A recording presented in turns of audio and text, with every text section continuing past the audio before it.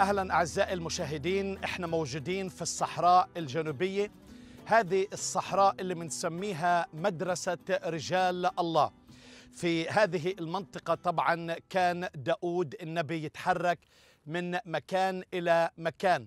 ولما الرب يسوع المسيح صام أربعين يوم كان موجود في هذه المنطقة في هذه الصحراء.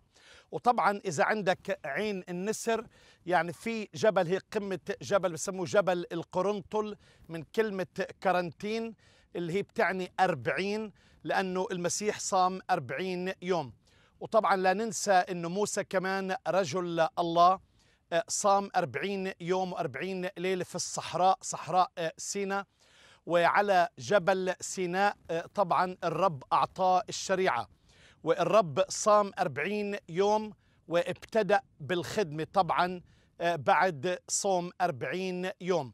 واليوم أنا عاوز أتكلم من كلام يسوع.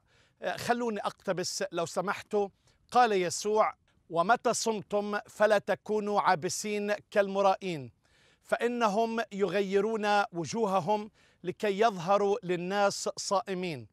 الحق أقول لكم إنهم قد استوفوا أجرهم. وأما أنت فمتى صمت فادهن رأسك واغسل وجهك لكي لا تظهر للناس صائما بل لأبيك الذي في السماء.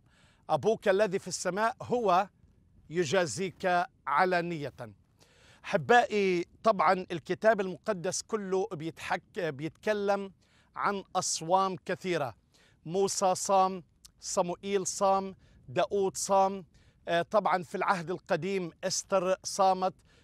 وهكذا أصوام لمناسبات كثيرة كان في أصوام لافتقاد إلهي لزيارة إلهية لتوبة للرجوع. وهكذا.